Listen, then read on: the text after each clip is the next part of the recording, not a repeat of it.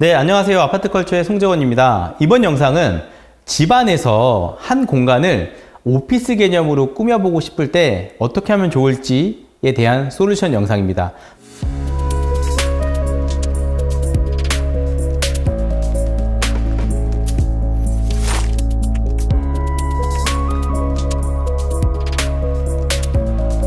보통은 오피스 공간을 만들어서 어떻게 하면 업무 효율을 높일까 하는 고민을 많이 할 텐데 이번엔 완전 다른 관점으로 어떻게 하면 이 공간이 정말 오피스스러울까 오피스스럽게 공간을 디자인한다는 건 무엇일까라는 개념으로 한번 공간을 디자인해 봤습니다. 우선 첫 번째는요. 바로 보이는 것처럼 우선 도어에서부터 남달리 했습니다. 일반적으로는 이 가정집에서 쓰는 도어는 보통 ABS 도어, membrane 도어 같은 일반적인 뭔가 목재 소재나 필름 소재의 도어가 많은데요. 보시는 것처럼 완벽하게 일반 회의실에서 많이 사용하는 유리 도어로 시공을 했습니다. 그리고 힌지라고 해서 상부와 하부만 고정되는 형식이다 보니까 경첩 같은 것도 없이 깔끔하게 디자인이 될 수가 있죠. 그래서 일단 보시는 것처럼 이 공간은 컨셉 자체가 오피스이기 때문에 이런 회의실 도어 같은 도어를 열고 내부로 들어가 보도록 하겠습니다. 네, 두 번째는 바로 가구입니다. 가구 같은 경우는 보통 우리가 집안에서 사용하는 책상 같은 경우는 4개의 다리하고 보통 상부에 어떤 이런 필름 소재나 원목 소재로 되어 있는 그런 가구가 많은데요. 보시는 것처럼 저희는 가구 자체를 일반적으로 보통 중역 가구라고 많이 하죠. 일단 회사의 어떤 고위층들이 쓰는 그런 형태의 어떤 가구를 먼저 올려놨습니다. 그래서 보시는 것처럼 이렇게 앞쪽이 가려져 있죠. 이런 가려져 있는 이런 가구에서의 느낌만으로도 어 벌써 이 가구 느낌이 일반적으로 집에서 쓰는 가구 같지는 않다라는 느낌을 여기서 연출을 해줬고요. 그래서 이제 이 공간 자체가 오피스의 느낌을 주는데 가장 좋은 거는 가구였다라고 봐주시면 좋을 것 같고요. 세 번째는 바로 마감재입니다.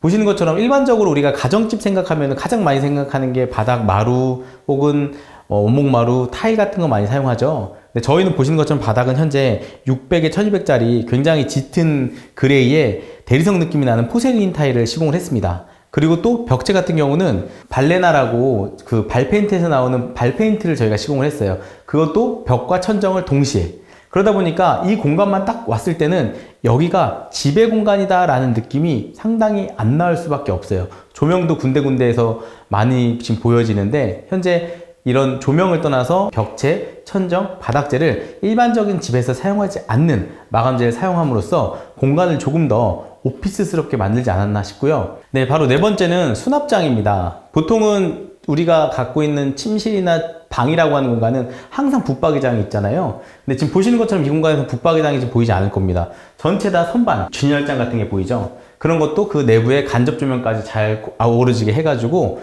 이런 어떤 느낌들이 이 공간이 오피스라는 느낌을 조금 더 느낄 수 있게끔 하는 요소들을 썼습니다. 그래서 과감하게 특히 이쪽 같은 경우는 벽체를 대략 저희가 한 25cm 정도를 삽입을 이렇게 벽을 좀 두껍게 만들면서 라운드 형태의 좀 오브제 느낌을 하나 연출을 했고요. 바로 측면 같은 경우는 진열장으로 계획을 했습니다. 그렇지만 또 수납은 하부 정도는 그래도 꼭 수납을 해야 될 거라고 생각을 해서 하부는 그래도 수납으로 계획을 했습니다. 하지만 제가 열기 전까지 이게 수납일 거라고 생각을 못 했을 수도 있어요. 그래서 이제 하부는 수납을 계획하면서 대신 이런 이제 가구 소재로 1차적으로 세팅을 해놓고 이런 페인트, 저희가 쓴 발페인트로 전체 다 칠했습니다. 그러다 보니까 이게 실제로는 수납 공간이라는 느낌이 들지 않았던 것도 거기서 나왔을 거고요. 또한 지금 보여지시는 이 선반 같은 경우도 일반 그 LPM이나 high glossy 같은 이런 선반을 한게 아니라 스테인레스, 스테인레스의 선반으로 계획을 해서 일반적인 가정집에서 사용하지 않는 소재, 금속 소재를 좀 활용해서 이 공간을 조금 더 오피스스럽게 디자인하지 않았나 싶습니다.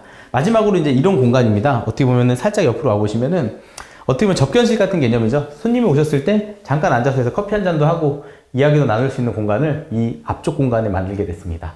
그래서 보시는 것처럼 이런 이제 다양한 요소들로 어떻게 보면은 그냥 일반 45평형 아파트의 가정집일 수도 있는 이런 공간을 홈 오피스 공간으로 꾸며봤다 하는 것을 참고하시면 좋을 것 같습니다. 대단히 많은 요소들이 있진 않지만 이런 작은 요소들을 잘 살려보면은 어떤 집에서도 컨셉을 만들 수 있다라고 생각합니다. 자, 여기까지 그 홈오피스 공간을 꾸미는 방법에 대해서 설명하는 영상이었습니다. 감사합니다.